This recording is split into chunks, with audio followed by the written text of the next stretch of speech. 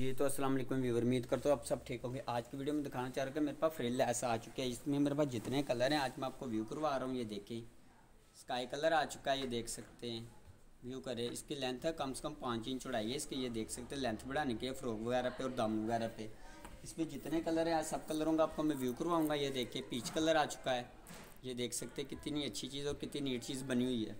इसके अलावा ये देख सकते हैं, इसमें मेरे पास ग्रीन कलर है। व्यू करें, कितनी अच्छी चीज़ आ चुकी है। ये देख सकते हैं, इसके अलावा ये कलर आ चुका है। ये फ्रॉक पे भी आप लेंथ बढ़ाने के लिए और कैप्री पे भी लगाना चाहे तो लगा सकते हैं। इसके अलावा इसमें यह ब्लैक कलर मेरे पास ये देखिए कितना अमेजिंग कलर है, ये देख सकते हैं। कितना अमेजिंग डिज़ाइन आ चुका है, ये देख सकते हैं व्यू करें। ब्लैक कलर है, ये देख सकते हैं। और कैप्री पे भी लगाना चाहे तो आप लगा सकते हैं, ये देखें। इसमें मेरे पास आ चुका है बेबी पिंक कलर।